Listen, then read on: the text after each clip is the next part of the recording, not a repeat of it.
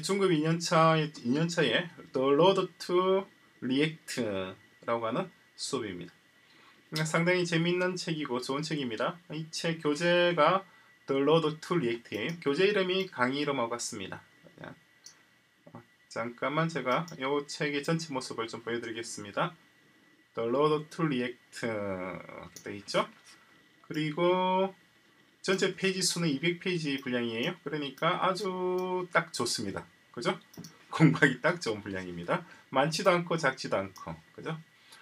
그리고 이 책은 open source 책입니다. open source 책이니까 무료로도 볼 수가 있습니다만은 웬만하면은 대금을 지급하고 얼마라도 여러분들이 원하는 만큼 금액을 지불할 수 있습니다. Leanpub.com The Road to Learn React 이렇게 들어가시거나 아니면 그냥 인터넷에 The Road to Learn React 그죠? 요걸 검색하시면은 바로 찾을 수가 있어요. 찾을 수 있으니까 들어가서 여러분들이 원하는 만큼 가격을 지불하고 구매하시면 됩니다. 그죠? 그리고 2018년 10월 8일 날 나왔으니까 아주 지금 강의하는 녹화하는 시점으로 봐서는 최근입니다. 그러니까 최신 버전이죠. 컴퓨터 관련 책은 워낙이 유통기간이 짧아요. 어, 돌았으면은 벌써 구버전이 돼버리죠.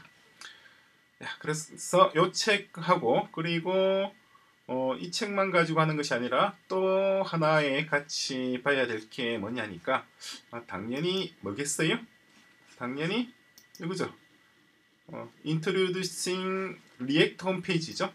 React.js org에 있는 메인 컨셉트에서 Hello World, Introducing 쭉쭉해서 12개까지 이, 이, 이 내용들 그죠? 요것도 같이 쭉 살펴보겠습니다. 그러니까 두 권의 책을 같이 보게 되는 셈이 되겠죠. 그래서 전체 에피소드 수는 대략 한 100개 정도 생각하고 있습니다. 그리고 React는 framework가 아니에요. framework가 아니라 어, 이거는 library입니다. view library예요. 그래서 React 하나만 가지고 뭔가 작품을 만드는 것이 아니라 다른 도구와 같이 함께 써야 되겠죠. 그래서 React랑 같이 쓰는 도구들이 많이 있습니다. 많이 있는데 우리는 어, Cycle.js라고 하는 도구를 같이 쓰게 될 거예요.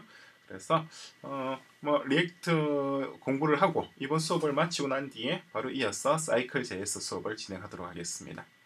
상당히 좋은 책이고 어, 깔끔하게 정리가 잘 되어 있고 그리고 시중에 나와 있는 React 책들 중에서 평점이 제일 높습니다. Amazon.com 들어가셔서 React 책들을 보시면 가장 소비, 독자들의 평이 높은 책이 바로 이 책입니다. 그래서 아주 재밌게 수업을 진행을 해 나가도록 하겠습니다.